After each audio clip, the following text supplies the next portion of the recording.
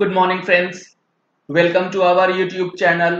friends आज की video में मैं आपके साथ शेयर करने वाला हूँ जीएसटीआर 3बी की लेट फाइलिंग और उससे रिलेटेड लगने वाली पेनल्टी से रिलेटेड एक बहुत ही बड़ा अपडेट के बारे में। चलिए वीडियो स्टार्ट करते हैं। बने रहिएगा वीडियो के एंड तक ताकि आपको भी जीएसटीआर 3बी से रिलेटेड ये बहुत बड़ा अपडेट अच्छी तरीके से समझ में आ सके। लेट स्टार्ट द वीडियो आप देख पा रहे हैं स्क्रीन पे GSTR three B late file करने पर नहीं लगेगी पेनल्टी जी हाँ फ्रेंड्स अगर आप GSTR three B late file करते हैं, अपने सेल्फ असेस टैक्स को लेट जमा करते हैं तो भी आपके ऊपर पेनल्टी नहीं लगा जा सकती। पेनल्टी लेट फ़ीस और इंटरेस्ट ये तीन चीज़ अलग अलग होती हैं। यहाँ पे बात की जा रही है पेनल्टी की। लेट फ़ीस और इंटरेस्ट जो है, वो एज एप्लीकेबल कंटिन्यू रहती है, लेकिन पेनल्टी लगाई जा सकती है या नहीं, उसके बारे में एक सर्कुलर इशू किया गया है। उसके बारे में हम लोग आज देखेंगे। उससे पहले मैं आपको दिखाता हूँ एक section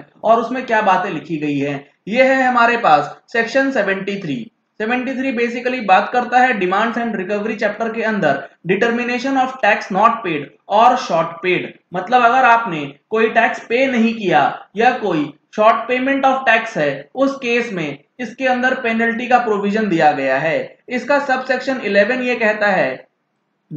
notwithstanding anything contained in sub section six और sub section eight penalty under sub section nine shall be payable where any amount of self assessed tax और any amount collected as tax has not been paid within a period of thirty days from the due date of the payment of such tax यहाँ पर यह बताया गया कि अगर कोई GST के अंदर रजिस्टर्ड पर्सन किसी से टैक्स कलेक्ट करता है अपने सेल के ऊपर और उस टैक्स को 30 दिन के अंदर जमा नहीं कराता है गवर्नमेंट ट्रेजरी अकाउंट में तो उसके ऊपर पेनल्टी लगाई जा सकती है अंडर सेक्शन 73 सब सेक्शन 11 अब इस चीज़ को अगर जीएसटीआर 3बी से रिलेट करें तो अगर हम लोग अपनी जीएसटीआर 3बी टैक्स लेने के 30 दिन के अंदर फ़ाइल नहीं करते हैं, टैक्स पे नहीं करते तो क्या हम लोगों के ऊपर पेनल्टी लगा दी जाएगी? इसके लिए गवर्नमेंट ने सर्कुलर इशू किया है, वो है सर्कुलर नंबर 76 और इसका जो पॉइंट नंबर टू है,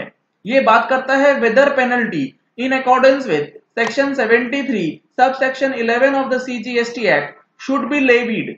in cases where the return in form GSTR 3बी has been filed after the due date of filing such return क्या सेक्शन 73 सब सेक्शन 11 के अंदर जीएसटीआर 3बी अगर आप लेट फ़ाइल करते हैं, जिसकी वजह से आप लेट पेमेंट करते हैं तो उसके लिए पेनल्टी लगाई जा सकती है। इसके लिए गवर्नमेंट ने बोला as per the provision of section 7311 of the CGST act penalty is payable in case self assess tax और any amount collected as tax has not been paid in a period of 30 days from the due date of payment of such tax यहाँ पे साफ़ साफ़ बताया गया section 73 sub section 11 में क्या लिखा गया है, जो अभी अभी हमने आपके साथ डिस्कस किया। अगला जो पॉइंट निकल के आया है, वो है it may be noted that a show cause notice SCN for short, is required to be issued to a person, where it appears to the proper officer that any tax has not been paid or short paid or erroneously refunded or where input tax credit has been wrongly availed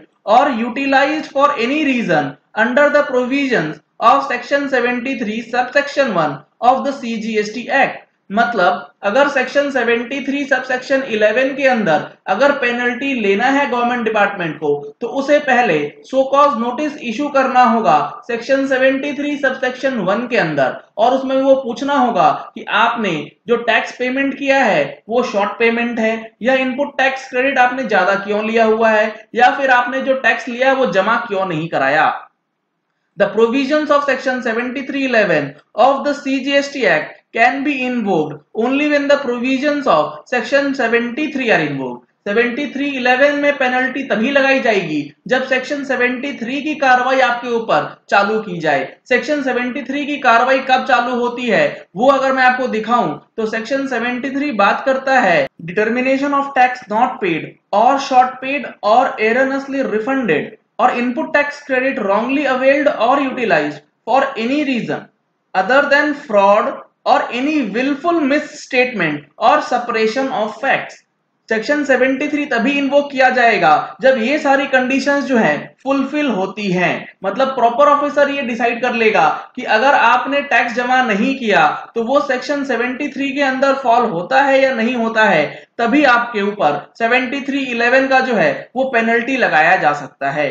अब अगला जो point निकल के आ रहा है the provision of section 73 of the C G S T act are generally not in invoked in case of delayed filing of the return in form GST R three B because tax along with applicable interest has already been paid, but after the due date for the payment of such tax. यहाँ पे बिल्कुल clear ये बताया गया कि अगर आप अपनी GSTR three B late file करते हैं और लेट फ़ाइल की वजह से जो इंटरेस्ट बनता है, अपने टैक्स और इंटरेस्ट को जमा कर देते हैं तो उन सिचुएशंस में आमतौर पे सेक्शन 73 को इन्वोक नहीं किया जाता, क्योंकि वहाँ पे टैक्स पे हो गया, भले ही कुछ टाइम के बाद पेमेंट हुआ हो along with interest it is accordingly clarified that penalty under the provisions of section 7311 of the CGST Act is not payable in such cases. इसीलिए यहाँ क्लियर किया गया कि सेक्शन 7311 के अंदर आपको GSTR three B late filing